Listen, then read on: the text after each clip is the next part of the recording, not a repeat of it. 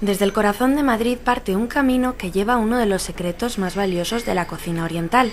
El restaurante Umami toma su nombre del llamado quinto sabor, que no es ni dulce, ni amargo, ni salado, ni ácido, y que este local intenta difundir entre su clientela. Mariano Velázquez, responsable de la carta de Umami, lo plasma en platos como este pez mantequilla con puré de manzana y jengibre y tempura de verduras. Es muy fácil identificar luego el umami porque hay muchos ingredientes de nuestra cocina que tienen un sabor de umami.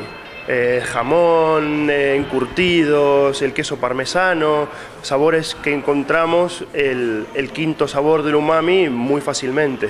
A pesar de encontrarlo en alimentos tan familiares, muchos de nosotros no lo reconocemos.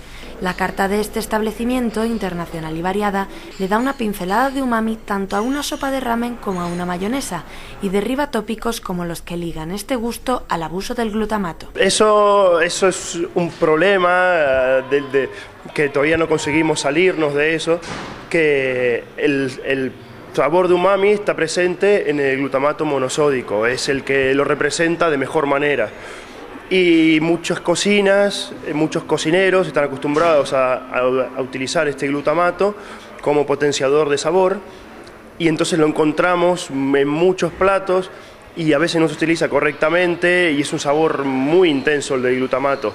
Un rincón de la Gran Vía que mezcla tradición y modernidad con un sabor muy especial.